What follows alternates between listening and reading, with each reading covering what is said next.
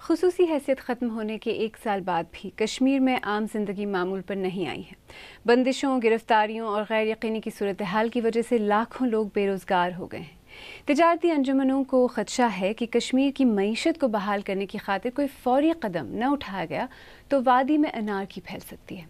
श्रीनगर से रियाज मसरूर की रिपोर्ट। अपने ही घर के सहन में काश्त की गई सब्ज़ियाँ बेचकर पेट पालने वाला एजाज अहमद चंद ही माह पहले एक कामयाब ताजर था। लेकिन कश्मीर की तवील कशीदगी और अब कोरोना की वबा से एजाज के मुस्तकबिल पर सवालिया निशान लग गया है।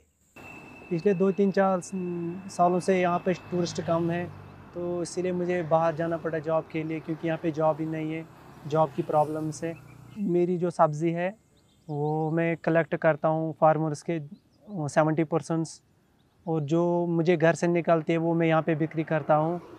तो थोड़ा मुझे जो घर के जो खर्चात होते हैं वो तो निकलते हैं क्योंकि मेरे पास अभी जॉब ही नहीं है।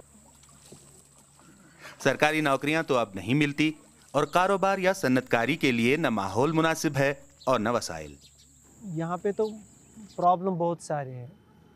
लॉकडाउन होगा या दूसरा कोई इशू होगा कर्फ्यू होता है अभी कोविड तो इस, इस ये प्रॉब्लम तो ऑल ओवर वर्ल्ड में है। इसको तो हम नहीं कह सकते हैं। फिर भी कश्मीर में बहुत डिफ़िकल्ट है जॉब के लिए। अगर सिचुएशन ऐसे ही होगी तो हमें यही काम करना पड़ेगा। गुजशत बरस कश्मीर की आइनी खुद मुख्तारी के खात्मे का नहायत गैर मकबूल ऐलान किया गया तो बंदिशों कर्फ्यू और हड़तालों से तालीमी और तजारती सरगर्मियाँ मअतल हो गईं। रही सही कसर कोरोना वबा से बचाव के लिए नाफिज होने वाले लॉकडाउन ने पूरी कर दी। पहले ही जम्मू कश्मीर की आबादी का एक चौथाई हिस्सा बेरोजगारी में मुबतला था। लेकिन ताजिर कहते हैं कि अब ये शरह तशवीशनाक हद तक बढ़ गई है।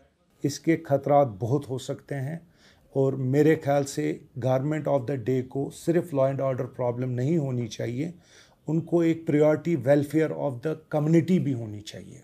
ये सिर्फ़ नहीं देखना है कि इस चीज़ से हमारा law and order problem solve हो जाएगा, मगर आप लोगों को देखना है कि लोग अपनी ज़िंदगियाँ कैसे चलाएँगे। कल ऐसा ना हो कि कल सारी कौन सड़क पे हो, क्योंकि वैसी एक फ़िक्र है, वैसा एक कंसर्न हमें नज़र आता है। दफ़ा 370 हटाने के बाद जो कानून साजी हुई है, उसके मुताबिक कश्मीर में सरकारी नौकरियों के अहल अब गैर कश्मीरी भी होंगे।